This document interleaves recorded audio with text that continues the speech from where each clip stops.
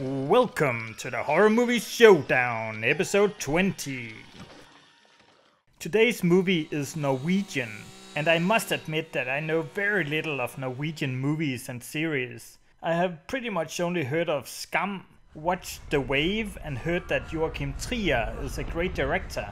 And Joachim Trier is the director of today's movie, which is called Thelma, and let's see if he lives up to his reputation.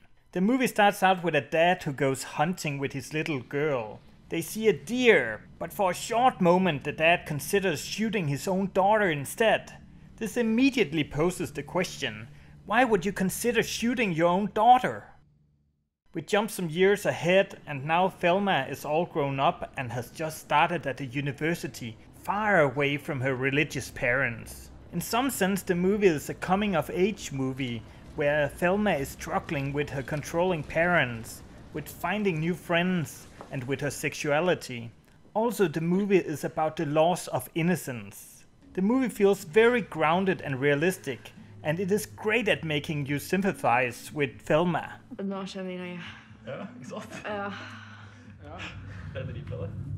The movie is very atmospheric, and it has this feeling of hopelessness, especially when it is revealed that Thelma has been drugged as a child. You start suspecting that her parents are more than just a little bit religious.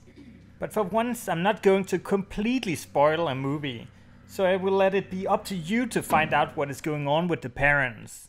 Now let's jump to the scores. The movie has a total of three kills, of which one of them is especially creepy. The movie is more eerie than scary, so it gets a scariness score of 5. Just like disturbing behavior, the movie has a single scene with a topless girl, so it gets a nudity score of 4.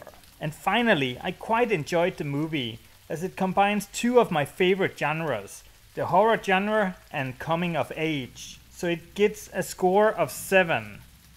Today's recommendation is Urban Legend, which is a slasher movie from the 90s.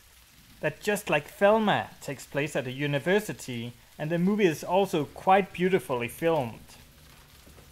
Since this is the 20th episode of the series, I thought it was about time that I also showed you all the goriness scores I've been collecting for the movies. There's nothing like a great head explosion scene.